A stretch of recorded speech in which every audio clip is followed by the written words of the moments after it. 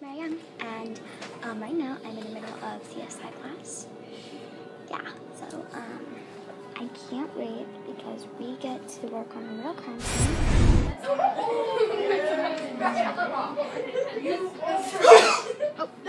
You barely missed It's Mary Young again, and right now we're dropping costume blood in CSI from 55.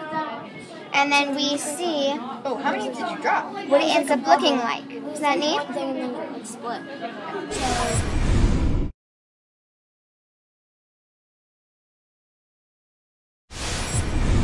Hi, it's Mary Young, and I'm interviewing my friend You get to learn things that you don't really get to learn in school.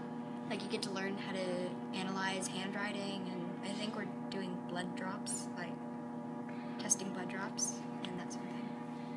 What do you think is the most interesting thing?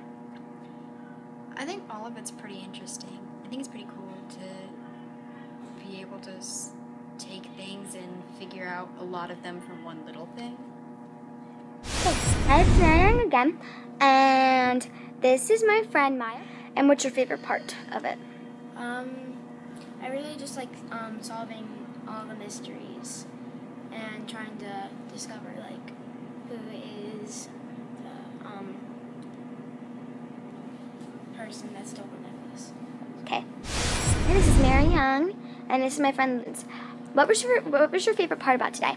I like when the day camp kids came in and we got to do team building together because I really like getting to know